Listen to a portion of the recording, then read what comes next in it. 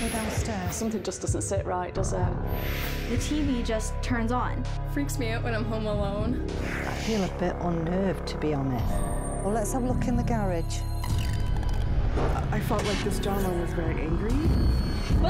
I think he's a key to something, and I'm not sure what it is yet.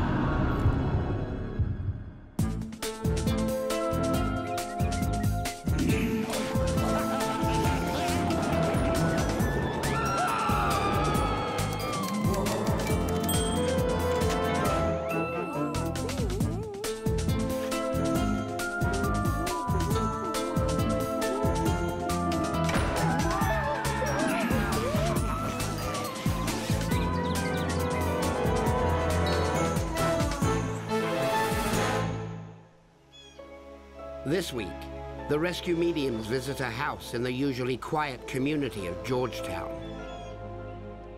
where all are convinced they've been visited by the same eerie presence. In the back bedroom where my middle daughter sleeps, she had um, feelings that there's always somebody there. Almost every night, I feel there's always somebody in my room. Holly went in to get a, just a can of pop. I got my pop and then I shut it, and there was a face right in front of me. I didn't see like a whole body or anything, it was just like a face. She booked it out there pretty quick. Noises down the hallways, doors closing. And I just saw a black shadow go past the window. You think you see something, you question yourself. I could feel someone standing there watching me from the bottom of the stairs. And then gradually he started to come up the stairs. He came right up behind me, could feel him breathing on my neck. He's gone out of his way to make sure people know he's here.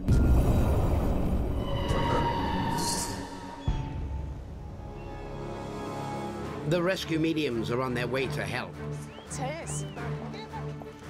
Jackie and Alison are renowned psychics who spend their days and nights showing wayward spirits into the light. I have never seen this gentleman, but I feel him. Huge. The rescue mediums have been given no prior knowledge of their destination. Even the name of the town has been kept secret until now. Although days earlier, they had some disturbing premonitions. Feeling of being woken in the night. There's a panicky feeling with this. I actually felt somebody hovering over top of me. That's quite scary, isn't it? I could hear them breathing.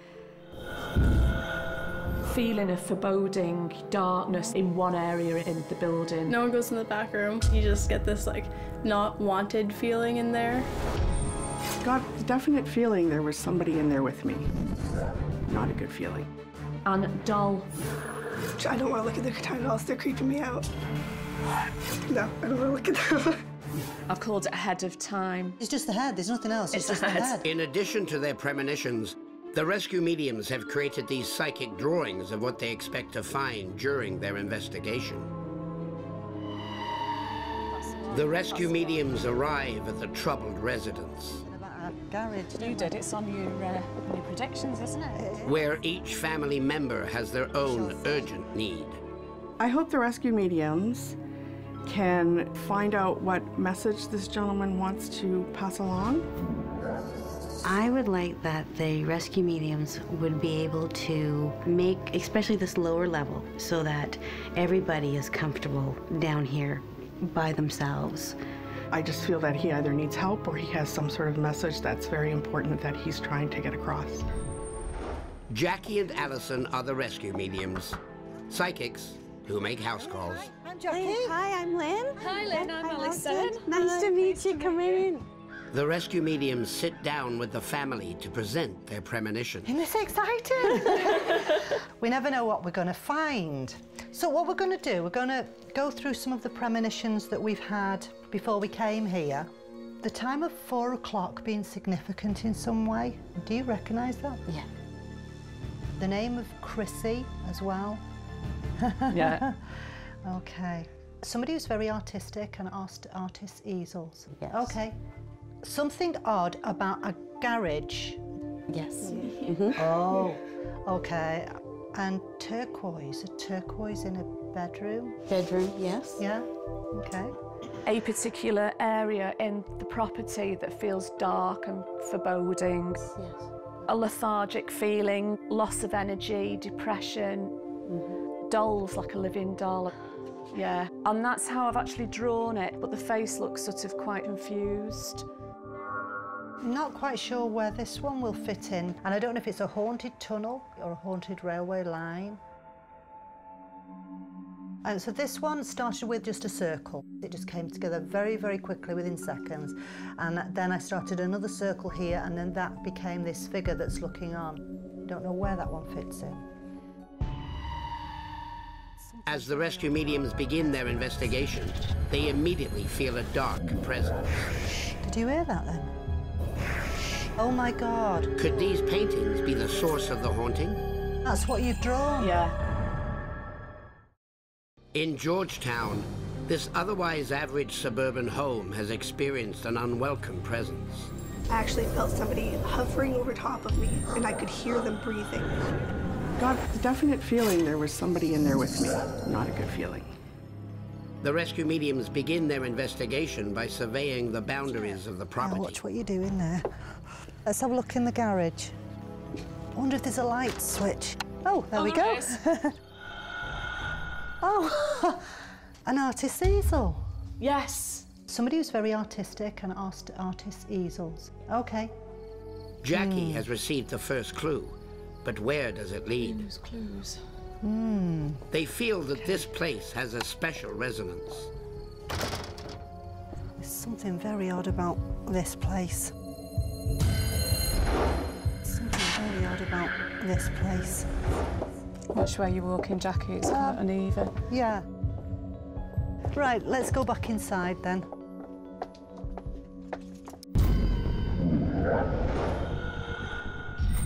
Further investigation within the house is required. They soon feel that they are not alone. Something just doesn't sit right, does it? No, no, it doesn't. Why do we keep getting the windows? Something to do with the windows. Can you see outside? Anybody could look through and. would be unnerving. Yeah, wouldn't it, that? yeah. I don't know. I don't think I'd feel secure. Should we go downstairs oh, then?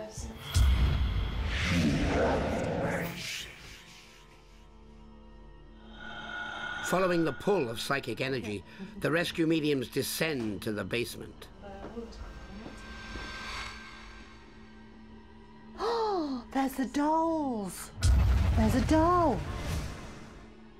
More premonitions become manifest. Is that a Chrissy doll? Chrissy. Chrissy. Told you it was a Chrissy. We've got that name in the prems. The name of Chrissy. Yeah. so we've got. Need to try and put it together. What? I thought it was somebody standing behind you then. A presence reveals itself to Alison.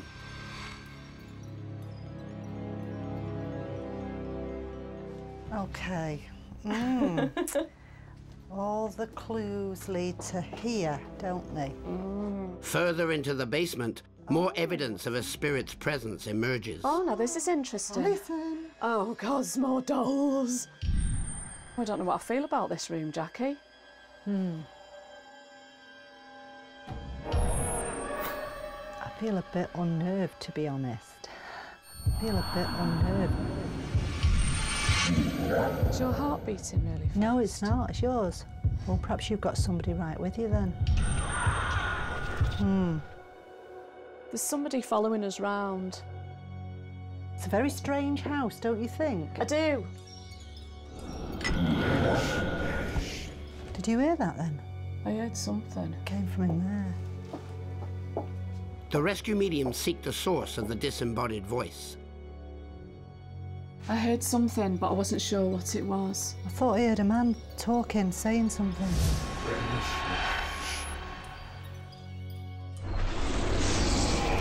Jackie senses that the presence has moved upstairs, and the rescue mediums follow. Oh, it's the turquoise room. The turquoise bedspread or turquoise in a bedroom. Bedroom, yes. Yeah? Okay. Oh my God. What? Look. Oh my God. Look at that. Red heart. And that's what you've drawn. Yeah. It's almost as if there's a need for something to be said. Oh, what's this? Is this a... Ah! Oh my God. But it's my uh, Oh. ahead of time. I think is a key to something, and I'm not sure what it is yet. Well, I'm trying to listen to you and take things seriously, but that head is looking at me. Ah, Alison, Can we go out of this room? it's a dummy. Ah, there's something about it. Sorry, sorry. I know. Who sleeps in this turquoise room? It is the family's middle daughter, who was absent from the initial interview with the rescue mediums. Jackie and Alison inquire about the deeper significance of her paintings. How long have you been drawing? Um, since I can remember my entire life. So the, the type of artwork that you say you've got down there in the in the frame was that done for a particular reason, or they're just uh, certain pieces that you've put together? I got in a mood one night. They were done at four o'clock in the morning. Gosh, they Yeah. done at four o'clock in the morning? yeah. Okay. The time of four o'clock being significant in some way. Do you recognise that? Yeah. They seem quite angry in a way.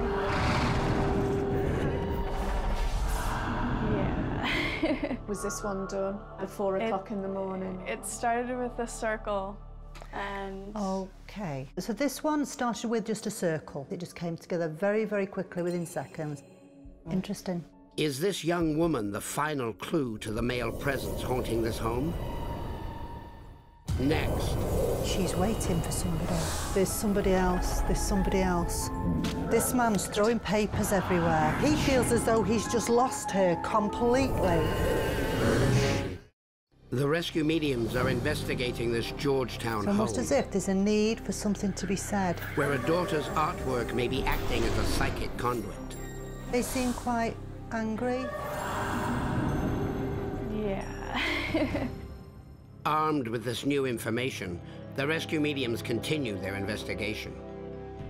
I think there's. I think there is a female that's with us. I think there is a female that's with us. Pulled by troubled vibrations, the rescue mediums return to the basement. That's it.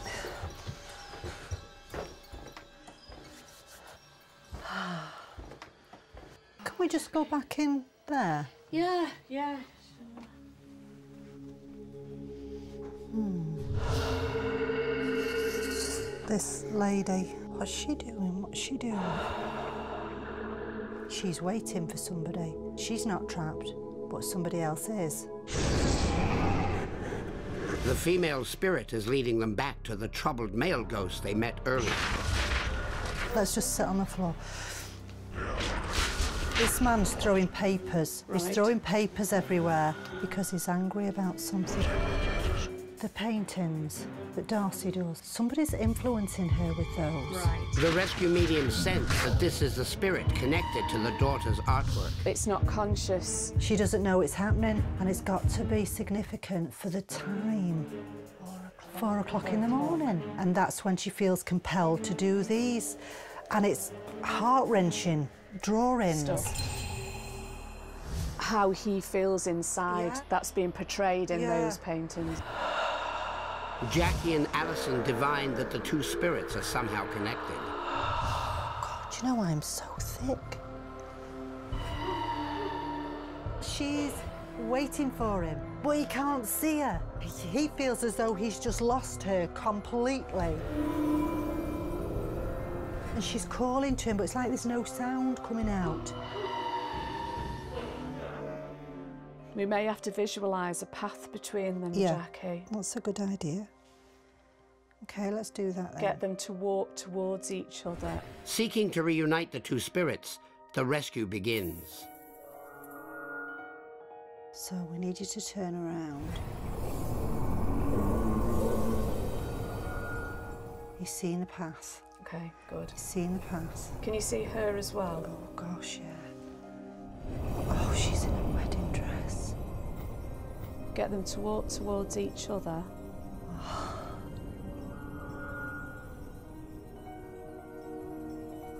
He's holding his hands out now to her.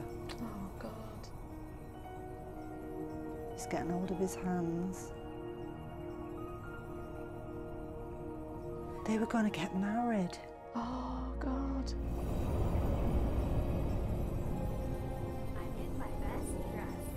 I'm in my best dress. It's like they're going down an aisle.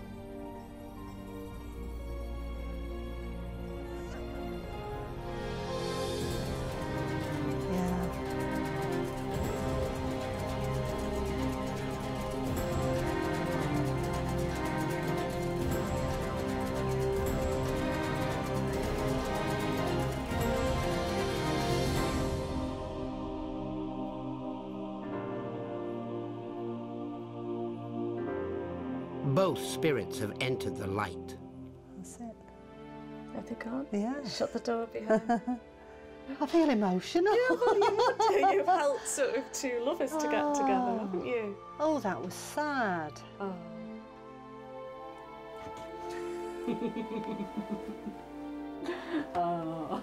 oh. That's lovely. That's so nice. No, I feel all right. I That's think, I think we should go to the wedding reception now. I think we should. I think we should have it. Next, the rescue mediums present their findings to the homeowners and compare it to independent research. Here's the really sad thing. Inside the suburban home, Do you know why I'm so thick? Because she's waiting for him, but he can't see her. the rescue mediums struggled He's angry about something. to reunite two wayward spirits and show them into the light. They were going to get married. Jackie and Alison sit down with the homeowners to present the results of their investigation. I just want to make you aware of just of certain facts that we talked about earlier. Turquoise bedroom. Four o'clock being significant in some way. They were done at four o'clock in the morning. They were done at four o'clock in the morning. Yeah. Okay. and the head. I was nearly frightened to death when I opened the cupboard in your bedroom and there's a head. Oh my God. And drawing circles. So this one started with just a circle. It just came together very, very quickly within seconds. We knew we had to talk to you about your drawings. It started with a circle. Started with a circle. Interesting. As we were doing the walkabout, we were very aware that we needed to go into what we call the pool room. yeah. We were very aware of you, Darcy, in that room. And then we were aware of a lady who came forward. Then we saw a gentleman. But the lady was trying to talk to him, and there was no sound coming out of her Yeah. mouth. She was mute. He'd not been able to find her, she couldn't find him until we brought them together. In his frustration and anguish, he'd been influencing you at 4 a.m. in the morning when you got that sudden urge to do those pictures of the torso with the heart bleeding. Jackie and Alison believe that these two wayward spirits were drawn to the family's home by Darcy's artistic ability and her psychic sensitivity.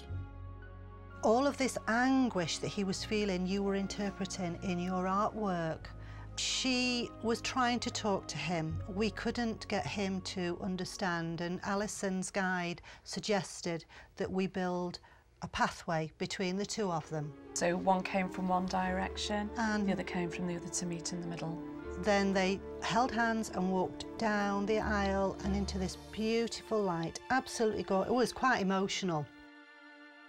Do you remember me showing you that picture? Yes. Yes. And I don't know if it's a haunted tunnel or a haunted railway line. Here's the really sad thing. We now know that Etta and Fred Reed had just got married and they were in a carriage.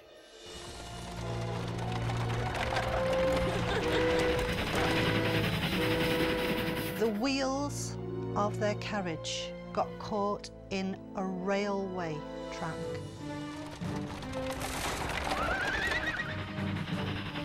They were hit by a train.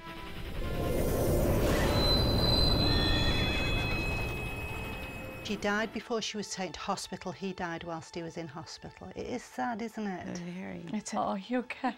Oh, God love her. Ah. Death certificates cite a fatal accident of a newlywed couple, Fred and Etta Reed, in 1907. Traveling via carriage between the towns of Guelph and Hespeler, they would have passed land adjacent to where this home now stands.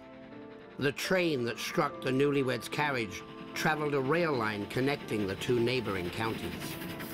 It is a sad story, my darling, but it's got a happy ending now because your talented sister helped to take them through to the light. She didn't realise it. You didn't know what you were doing, but you've just helped them so much. He wanted to find, you know, the woman that he loved and he wanted to be with her, and now he can be. So they're the ghosts in your house. Very cool. It'd be interesting to see how your drawings change. You shouldn't have the same sort of urge, sudden urge to do these things. Yeah. Yeah. With the spirits in the home reunited and sent into the light, the rescue mediums bid farewell to the homeowners. Thank you so much. Enjoy your house. Oh, yeah, so you carry on with your drawings, okay? and seek to have a reunification of their own, but with more agreeable spirit. Thank you very much. Thanks. Thank you. Do you know when they walked through um, the church, though, through up the aisle? It was just a lovely, lovely ending, wasn't it? Yeah, it was, the flowers and everything. Here we are having a nice drink in the George Tavern. Yep, yeah, and I've got a little toast for us as well. Oh, great. Hey. Ooh. By George, she's got it. Oh.